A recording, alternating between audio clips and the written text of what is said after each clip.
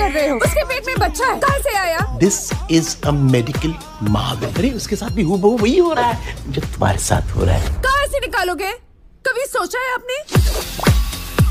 उस रात उसका थोड़ा स्पर्म वापस उसी के अंदर तो नहीं चला गया ना? ऐसा थोड़ी ना होता है कि उसी का शुक्राणु उसी के अंदर वापस जाकर परमाणु थोड़ी ना बन जाएगा। पिछले दो तीन महीने से अपने पेट को मोटापे के पीछे छुपा रहा हूँ लेकिन मैटर थोड़ा आउट ऑफ़ हैंड हो गया है। यू आर लैक्टेटिंग दूध निकल रहा है। उसी को लैक्टेटिंग कहते हैं।